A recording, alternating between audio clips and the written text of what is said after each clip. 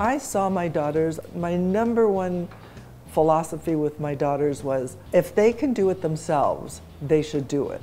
So basically, I never do anything for my kids that they can do for themselves. You can get dressed by yourself. I don't have to help you get dressed, right?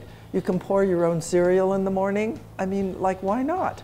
You know, let me teach you how to pour the milk so you don't spill it all over the floor. You know, they could help make cookies. They, there's a lot of stuff they could do. And um, it all, it just became natural, part of life, that they were part of the team. It wasn't like I was the person to serve them they were part of my team. They publish a newspaper called the Campanile, and it comes out every two to three weeks. It's 24 to 28 pages, full size paper. And it's all run by students.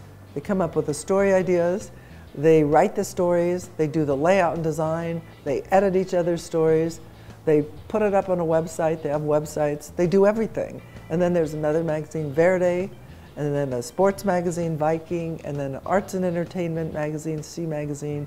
And Agora is foreign affairs magazine.